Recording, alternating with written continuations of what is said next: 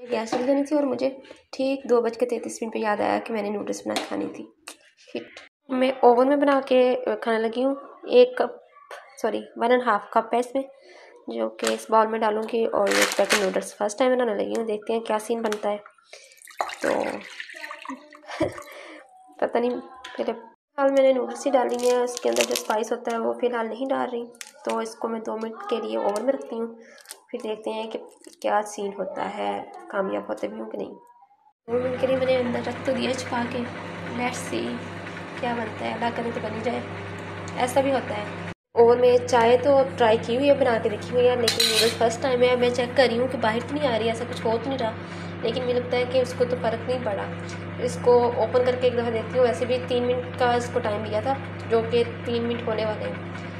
जिस तरह का हुआ मतलब कुछ होने लगा था इसके साथ गर्म शर्म मैं इसमें स्पाइस डाल देती हूँ, फिर इसको पाँच मिनट नहीं, तीन मिनट और देती हूँ। थोड़ा थोड़ा दे के देना ईजी है, बजाय कि इससे कुछ जलने और फटने वाला सीन हो।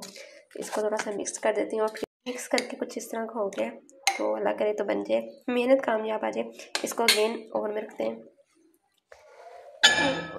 और तीन मिनट लगा देते हैं। चलिए ये कुछ इस तरह के हुए। हैं बहुत गर्म था। अब तो पता नहीं, ये बना नहीं है। लेकिन मुझे लगता है थोड़ा सा और टाइम देना पड़ेगा। या इसमें पानी कम डालना चाहिए था। तो ना तो ये पानी कम हुआ है।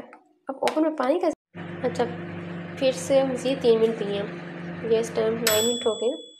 इसको ओपन करते हैं। ये वाह मतलब जैसे पक रहा था। सक्सेसफुल हो सकते हैं, अगर इस पर मज़ीद कोशिश की जाए, फ़िलहाल इसको निकाल के देख। इसमें इतना सा पानी आ गया, इसको क्योंकि मुझे सूपी पसंद है, लेकिन इतना भी पानी ना हो। इसको ना इस प्लेट में थोड़ा सा निकाल के इसका पानी टेस्ट करती हूँ कि टेस्ट इसका कैसा है।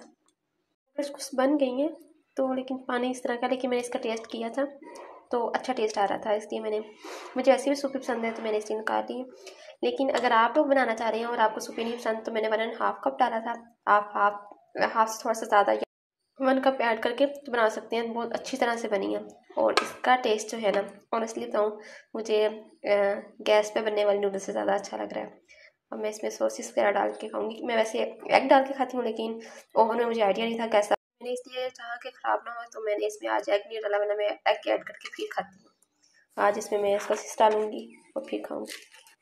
थैंक यू फॉर वॉचिंग अगर आपको मेरा एक्सपीरियंस अच्छा लगा तो आपने कमेंट बॉक्स में बताना है और वीडियो को लाइक करें।